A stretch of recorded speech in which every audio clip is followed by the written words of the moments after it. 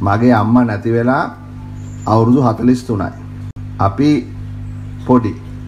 බොහොම අමාරුවෙන් නංගී මමයි අපේ අම්මා නැතුව අපේ තාත්තා ආදරෙන් අපිව බලාගත්තා. අවශ්‍ය සියලු දේ අපිට දුන්නා. අපි සමාජයේ යම්කිසි තැනකට පැමිණෙනවා. මගේ නංගි විශේෂඥ ළමා වෛද්‍යවරයෙක්. අපේ අම්මා නැති උනේ පිළිකාවක් හැදිලා. ඒක 1990 ගිලන් රථයක් තිබ්බයි කියලා බේර ගන්න පුළුවන් දෙයක් නෙමෙයි. නමුත් අපේ රටේ අම්මලා ගොඩක් තව නැති වෙනවා හදිසි අවස්ථාවලින්. ඒ අම්මලාට නංගි මගේ දරුවෝ වගේ දරුවෝ ඉන්නවා. හැම ජීවිතේම වටිනවා. හැම අම්මා කෙනෙක්ටම දරුවෝ ලෝකෙට වඩා ලෝකෙ තියෙන ලොකුම සම්පත. හැම දරුවෙක්ටම තමන්ගේ අම්මා තමයි ලෝකෙ උතුම්ම සම්පත. අම්මා කිව්වට අම්මා විතරක් නෙමෙයි තාත්තා අම්මා සියලු දෙනා. එහෙමනම් අපි මේ කරන්නේ උදව් උපකාර වෙනවා යම්කිසි හේතුවකින් තමන්ගේ අම්මා තමන්ගේ තාත්තා තමන්ගේ දුව තමන්ගේ පුතා ලොකු ප්‍රශ්නයකට හිර වෙලා පපු අමාරුවක් හැදිලා කාර් ඇක්සිඩන්ට් එකකට අහු වෙලා පිහි පාරක් වැදිලා බෝම්බයකට අහු වෙලා ජීවිතේ නැති වෙන්න යනවනම් අපි ගිහිල්ලා ඒ කට්ටියගේ ජීවිතේ බේරනවා. අපි බේරන බේරන හැම ජීවිතයක් පිටිපස්සෙම කතාවක් තියෙනවා. අපිට ඒ කතාව ඇහෙන්නේ නැති වුණාට ඒ කට්ටිය තමන්ගේ මුළු ජීවිතේම ඒ කතාව අමතක කරන්නේ නැහැ. මම සමහර වෙලාවට පුද්ගලයෝ මිත්‍රයෝ හම්බුනහම ඒ කට්ටිය මට කියනවා හර්ෂා විශ්වාස කරගන්න බෑනේ.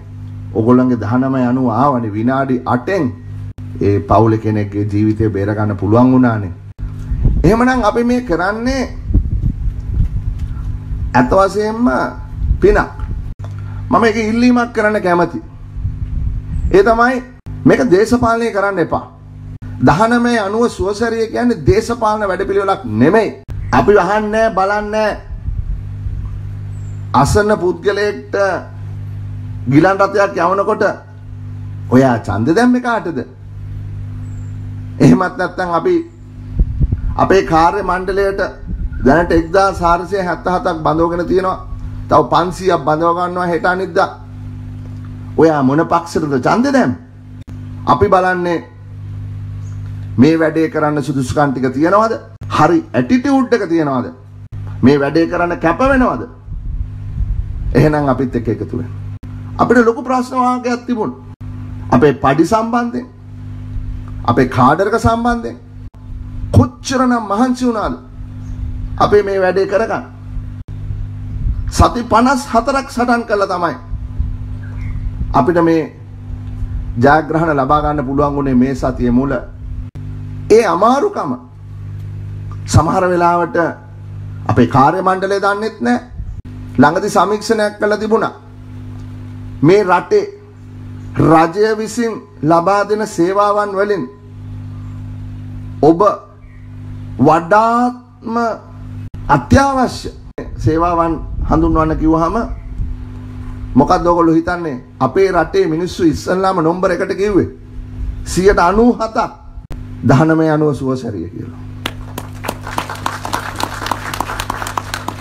ඒ නිසා කරුණා කරලා සමහර දේශපාලන කණ්ඩායම් එක්ක එකතු වෙලා යම් කිසි ක්‍රියාවක් කරන්න උත්සාහ කරනවා නම් මම බලාගෙන් ඉල්ලනවා කරුණා කරලා ඒ පාප කර්මයට උදව් කරන්න එපා කියලා.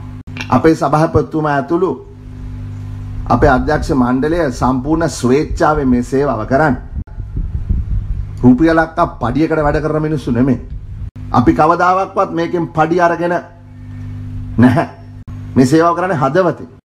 මේ සේවාව ගොඩනගන්න අපිට රජයේ බදු සල්ලි වලින් එක සත පහක් අපි ලබා ගත්තේ නැහැ.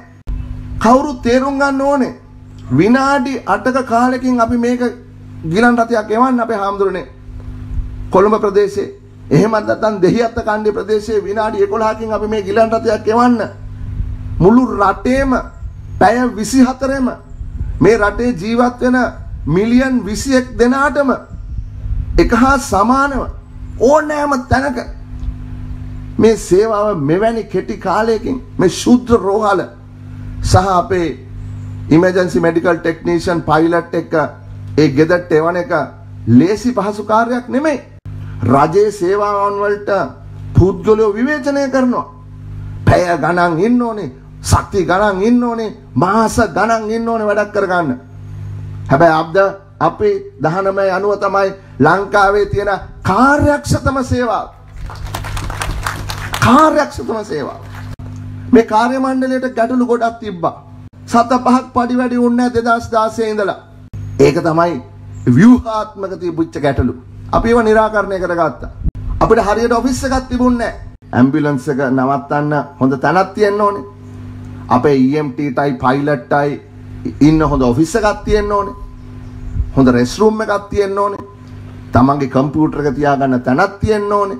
මේ උතුම් සේවය කරන අපේ කාර්ය මණ්ඩලයට අපේ පොලිසියෙන් තමයි ඒ අවස්ථාව ලබා දුන්නේ.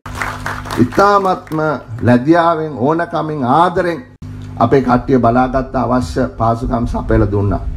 පළවෙනි අපේ ඔෆිස් එක ශ්‍රී ලංකාවේ නාවික හමුදාවෙන් තමයි අපිට උදව් වෙන්නේ ඒක ගොඩනැගිල්ල ඉදි කරන්න. අපි පටන් ගත්ත විතරයි. අද අපේ රට තාම දියුණු වෙන රටක් වුණාට ඇමරිකාවට හා සමාන పూర్ව ගිලන් රට සේවාවක් අපි බිහි කරලා තියෙනවා. ඒ ගැන අපි ඔක්කොම ආඩම්බර වෙන්න ඕනේ. මේ සේවාව තවදුරටත් දියුණු කරන්න ඕනේ. ඉදිරියේදීත් අපි කැප වෙලා ඉන්නවා.